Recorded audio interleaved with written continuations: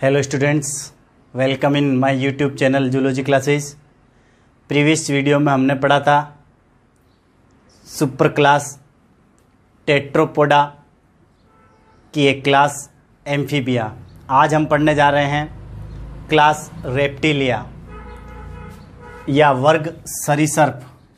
वर्ग सरीसर्प की बात करें तो रेप्टिलिया वर्ड का मीन होता है। Creeping vertebrates. अर्थात ऐसे जंतु जो रेंग कर चलते हैं, वो रेप्टिलिया वर्ग में सम्मिलित किए जाते हैं। बात करते हैं सरीसर्प वर्ग के कुछ की पॉइंट्स की। तो reptiles have about six thousand living species सरीसर्पों में लगभग छः हज़ार जीवित जंतु जातियाँ देखने को मिलती है। अनदर की पॉइंट्स की बात करें तो दे इवॉल्व्ड ड्यूरिंग परमियन इनका ओरिजिन की बात करें तो ये परमियन काल में इवोल्व या स्थापित हुए थे and spread widely during Mesozoic era और मीजोजोइक कल्प के दौरान ये विस्तृत रूप से फैल गए थे। इसी के लिए बेसिस पे हम मीजोजोइक एरा को रेप्टाइल्स का गोल्डन एरा कहते हैं या स्वर्ण कल्प कहते हैं। बात करते हैं इनके जनरल या कॉमन नेम्स की तो जनरली कॉल्ड क्रीपिंग वर्टिब्रेट्स सामान्यतः इन्हें रेंगने वाले वर्टिब्रेट्स एनिमल कहा जाता है, या रेंगने वाले कसेरू के जंतुओं में इनको सम्मिलित किया जाता है। आज का हमारा वीडियो बेस रहेगा क्लास रेप्टिलिया के जनरल कैरेक्टर्स। सबसे पहले बात करते हैं हैबिट हैबिटेट की। तो ये सभी प्रकार के हैबिटेट या आवास में देखने को मिलते हैं। कुछ एक्सेप्शन को छोड़कर, जैसे एक्सेप्ट वेरी कोल्ड रीजन्स। कुछ ठंडे प्रदेशों को या बहुत अधिक ठंडे प्रदेशों में ये अनुपस्थित हो सकते हैं। बाकी वाइडली ये पूरे वर्ल्ड की सभी हैबिटेट में लगभग पाए जाते हैं। फ़र्स्ट ट्रूली टेरिस्टियल वर्टिब्रेट्स अगर बात करते हैं हम कसेरू की जंतुओं की तो स्थल पर स्थापित होने वाले प्रथम कसेरू की जंतु सरीसर्पों को माना जाता है। क्यों? क्योंकि इससे प्रीवियस क्लास में हमने देखा था, वर्ग एम्फीबिया या उबेचरों में जंतु, थल और नभ दोनों में पाए जाते थे। अर्थात स्थल और जल दोनों प्रकार के आवास में जंतु पाए जाते थे। लेकिन यहाँ पूर्णतया स्थल पर जंतु देखने को मिलते हैं। इसलिए रेप्टाइल्स को फ़र्स्ट ट्रूली टेरेस्ट्रियल वर्टिब्रेट्स भी कहा जाता है। बात करते हैं इनकी बॉडी की तो बॉडी चार भागों में स्पष्ट रूप से डिवाइड रहती है। जिनमें हेड या सिर, नेक, ग्रीवा या गर्दन, ट्रंक, धड़ और टेल या पूंछ में बटी होती है। टू पेड जॉइंटेड अपेंडेजेस और लिम्स आर फाउंड। दो जोड़ी पाद उपस्थित रहते हैं और जनरली पाद पेंटाडेक्टाइल होते हैं। एक्सेप्शन के तौर पे कुछ जंतुओं में फोर लिम टेट्राडेक्टाइल हो सकती है और हाइंड लिम पेंटाडेक्टाइल होती है। बात करते हैं स्किन की तो इनकी त्वचा शुष्क होती है, ड्राई, रफ या खुरदरी होती है और हॉर्नी या कांटेनुमा होती है। अर्थात विभिन्न प्रकार के एपिडर्मल स्केल्स इनमें उपस्थित होते हैं, जिनकी वजह से त्वचा खुरदरी शुष्क और कांटेनुमा होती है। क्यों? क्योंकि इनमें किसी प्रकार की कोई म्यूकस ग्लैंड नहीं पाई जाती। अर्थात श्लेष्मिक ग्रंथियाँ इनमें अनुपस्थित होती है और श्लेष्मिक ग्रंथियाँ अनुपस्थित होने के कारण इनकी त्वचा खुरदरी या चिम्मड़ के समान काटेनुमा होती है। बात करते हैं इनके एक्जोस्केल्टन की या बाह्य कंकाल की।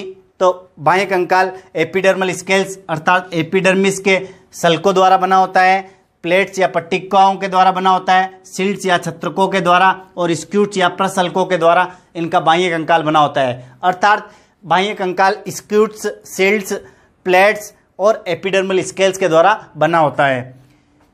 इनके बाह्य कंकाल में एक विशेष प्रकार की प्रक्रिया देखने को मिलती है। ये स्टूडेंट्स आपके लिए बेहद ही महत्वपूर्ण पॉइंट्स है। इसे आप ध्यान रखिएगा।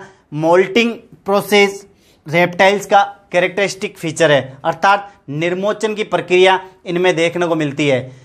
निर्मोचन क्या होता है?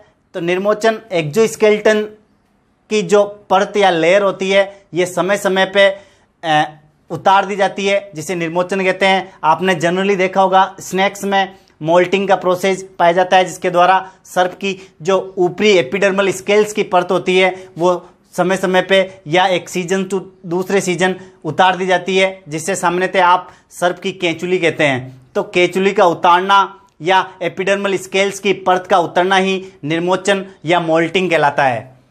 नेक्स्ट बात करते हैं इनमें पाए जाने वाले पाचन तंत्र की या डाइजेस्टिव सिस्टम की। तो डाइजेस्टिव सिस्टम वेल डेवलप्ड होता है, अर्थात सुविकसित होता है, जिनमें डाइजेस्टिव ग्लैंड्स भी उपस्थित होती है।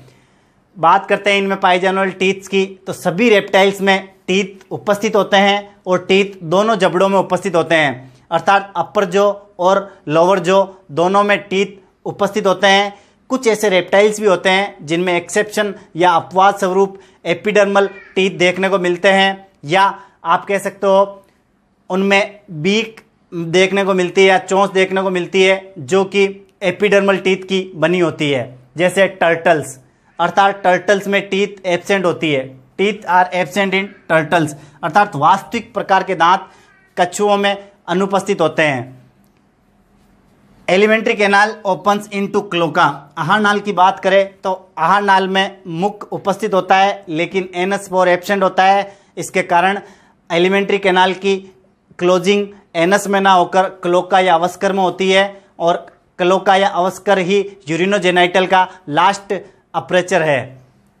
इनके अलावा बात करते हैं इनमें पाए जाने वाले सर्कुलेटरी सिस्टम की या परिसंचरण तंत्र की। तो परिसंचरण तंत्र इनमें विकसित प्रकार का होता है, जो कि अपन देखें सभी कसरुकियों में तो विकसित प्रकार का इनमें भी देखने को मिलता है।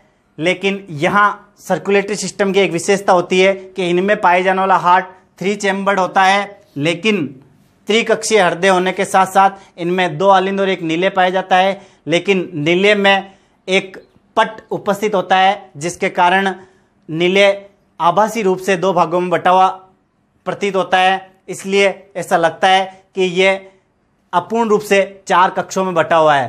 हालाँकि ये तीन कक्षों में बटा हुआ रहता है और कहीं ना कहीं नीले में प्योर और इम्प्योर ब्लड, जिसे हम ऑक्सीजनेटेड और डीऑक्सीजनेटेड ब्लड कहते हैं मिक्सअप होता है।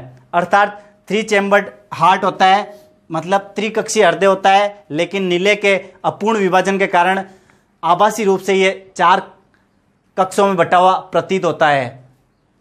RBCs are Oval. आरबीसीज की बात करें तो ओवल या अंडाकार होती है, बाई कॉन्वेक्स शेप की होती है या आप कह सकते हैं न्यूक्लिएटेड होती है या केंद्रक युक्त होती है। बात करते हैं हम अन्य सरीसृपों के कैरेक्टर्स की। तो प्रेप्टाइल्स आर पोइक्लोथर्मल सरीसर्प असमतापी प्रकार के जंतु होते हैं, अर्थात इनकी बॉडी का टेम्परेचर वातावरण के टेम्परेचर पर डिपेंड करता है। अर्थात बॉडी का टेम्परेचर बाहर के वातावरण के टेम्परेचर के अनुसार बदलता रहता है या वेरी करता रहता है। रेस्पिरेशन बाय लंग्स श्वसन की बात करें तो इनमें श्वसन पूर्णतः फेफड़ों के द्वारा होता है, या आप कह सकते हो पल्मोनरी रेस्पिरेशन पाया जाता है। पल्मोनरी मतलब पूर्णतः टेरिस्टियल एनिमल है, और टेरिस्टियल एनिमल होने के कारण इनमें पूर्णतः फुफ्फुसी श्वसन देखने को मिलता है। बात करते हैं एक्सक्रीशन की या उत्सर्जन की। तो उत्सर्जन के लिए उच्च प्रकार की विकसित किडनियाँ पाई जाती है, जिसे हम मेटानेफ्रिक किडनियाँ या पश्च वर्का कहते हैं, उनके द्वारा इनमें उत्सर्जन होता है। मुख्य उत्सर्जी पदार्थ की बात करें तो यूरिक अम्ल इनमें साधारणतः उत्सर्जी पदार्थ होता है। यूरिनरी ब्लेडर की बात करें तो urinary bladder is present, but absent in snakes. हम बात करते हैं रेप्टाइल्स जंतुओं की तो इनमें यूरिनरी ब्लेडर सामान्यतः उपस्थित होता है, लेकिन सर्पों में अपवाद स्वरूप यूरिनरी ब्लेडर या मूत्राशय अनुपस्थित होता है।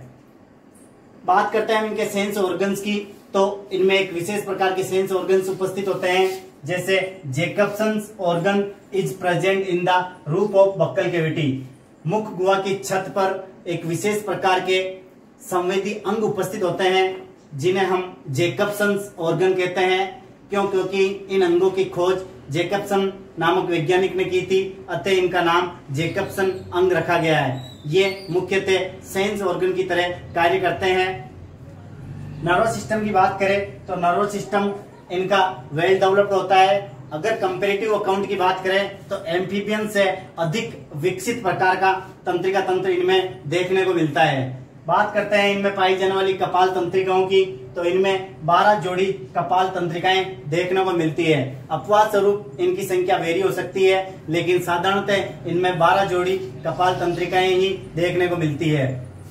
इनके अलावा सेक्सेज आर सेपरेट, लिंग इनके पृथक पृथक होते हैं, अर्थात नर व मादा जंतु अलग अलग होते हैं। आप यूँ कह सकते हैं कि ये एकलिंगी जंतु होते हैं। इनके अलावा नरों में निषेचन के लिए एक विशेष अंग पाया जाता है, जिसे मैथुनांग या कोपुलेटरी ऑर्गन कहते हैं, जो कि मैथुन प्रक्रिया में सहायक होता है, जिनके द्वारा गेमिट्स रिलीज़ बॉडी के भीतर किए जाते हैं। अर्थात फर्टिलाइजेशन की बात करें तो फर्टिलाइजेशन इनमें आंतरिक प्रकार का होता है। क्यों? क्योंकि इनमें कोपुलेटरी ऑर्गन उपस्थित होता है, मैथुनांग उपस्थित होता है, जिनकी सहायता से नर अपने नर युग्मक मादा के शरीर में विसर्जित कर देता है। इस प्रकार इनमें पाई जाने वाला फर्टिलाइजेशन इंटरनल होता है। और क्यों? क्योंकि ये टेरिस्टल एनिमल्स है तो टेरिस्टल एनिमल्स में मोस्टली इंटरनल टाइप का फर्टिलाइजेशन देखने को मिलता है। इनके अलावा कुछ और कैरेक्टर्स की बात करें तो फीमेल्स आर ओवीपेरस साधारणतः मादा अंडयूज होती है, लेकिन कुछ रेयर केसेस में मादाएँ ओवो विविपेरस भी होती है अंड जरायुजता भी देखने को मिलती है, अर्थात अंडों से शिशु भी उत्पन्न होते हैं। डेवलपमेंट की बात करें तो इनमें डेवलपमेंट डायरेक्ट प्रकार का होता है, अर्थात परिवर्तन प्रत्यक्ष प्रकार का होता है, जिनमें किसी भी प्रकार की कोई लार्वावस्था नहीं पाई जाती। इनके अलावा एक विशेष नोट की बात करें तो embryos come to have the covering of four types of membrane. इनकी भ्रूणीय अवस्था में चार विशेष प्रकार की भ्रूणीय झिल्लियाँ उपस्थित होती है, जिन्हें हम एम्ब्रियोनिक मेम्ब्रेन्स कहते हैं। जिनके नाम निम्न प्रकार है योगसेक कोरियन, एमनियन और एलेंटोइस। ये चार महत्वपूर्ण भ्रूणीय झिल्लियाँ हैं, जो इनके एम्ब्रियो के डेवलपमेंट में सहायक होती है और ये एक कोर्डेट एनिमल्स के साथ साथ मेमल्स का डायग्नोस्टिक कैरेक्टर्स है। तो ये आपको ध्यान होना चाहिए। हम बात करते हैं रेप्टाइल्स जंतुओं के कुछ कॉमन एग्जाम्पल्स की। तो इनमें लिजार्ड्स क्रोकोडाइल्स टोर्टोइज और स्नैक्स को सम्मिलित करते हैं। तो स्टूडेंट्स ये थे क्लास रेप्टिलिया के कुछ की पॉइंट्स के साथ जनरल कैरेक्टर्स आई होप आपको ये वीडियो पसंद आया होगा। अगर आपको ये मेरा वीडियो पसंद आया है तो आप इसे अधिक से अधिक लाइक शेयर और सब्सक्राइब करें और मेरे यूट्यूब चैनल जूलॉजी क्लासेज को अधिक से अधिक प्रमोट करें। Thanks thanks a lot